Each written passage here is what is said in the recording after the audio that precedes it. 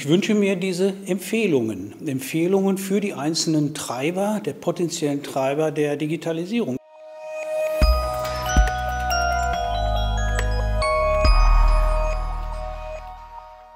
Empfehlungen an die Politik, an die Hochschulleitungen, an die Lehrerinnen und an die Studierenden, sodass ich dann, der aus einer, ja, ich will es mal so sagen, digitalen Provinz noch kommt, eben sagen kann, wie die Kollegen, die eben nicht mit der Digitalisierung viel zu tun haben, vorgehen können, wie die Präsidien sich einstellen können und auch die Studierenden. Wenn Sie jemanden fragen, der Probleme mit der Digitalisierung hat, zum Beispiel Lehrenden, dann hören Sie, ich habe da keine Zeit für, das ist mir viel zu teuer, viel zu aufwendig, ich äh, muss ja so viel Neues lernen und das Alte ist ja ganz gut, was wir haben.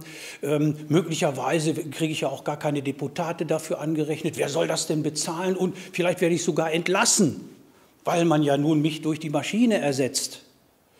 Das sind Aussagen und noch andere, die Sie hören, wenn Sie mit Gegnern der Digitalisierung konfrontiert sind. Zur Lösung der Digitalisierungsproblematik, ich nenne es mal jetzt so, müssten wir in die Hochschulen hineingehen. In die Hochschulen, die sich ja in Masse noch gegen die Digitalisierung wehren. Es gibt Einzelakteure. Aber in Masse wehren sie, sich da, wehren sie sich dagegen. Und da müssen wir reingehen und nicht nur die großen Referate halten, sondern sehr zielgerichtete Vorträge, die die Probleme, die wir hier im Hochschulforum auch identifizieren, benennen, ansprechen, Lösungen vorschlagen und anschließend in kleinen, sehr zielgerichteten Workshops bis hin zum Individualcoaching von Auge zu Auge, von Professor zu Professor diese Probleme lösen helfen.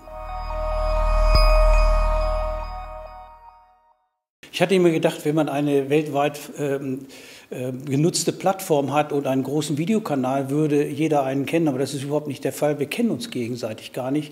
Nach anderthalb Jahren kann ich, äh, glaube ich, sagen und äh, das auch unterstützen und gutheißen, kennen sich ganz viele Leute und ziehen an einem Strang.